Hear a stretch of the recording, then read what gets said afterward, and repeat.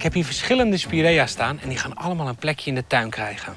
Het zijn laagblijvende soorten en de sierwaarde zit hem erin dat hij zowel een bladverkleuring heeft als prachtige bloemen. En deze die vind ik wel heel erg mooi om er even uit te lichten. Dit is namelijk de Blue Kazoo. Als je in het voorjaar zou kijken, dan komt er gewoon een blauwe gloed over het blad heen te zitten.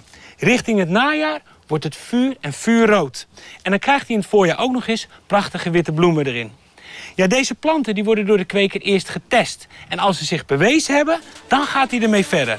En pas daarna komen ze bij ons in de tuin te staan.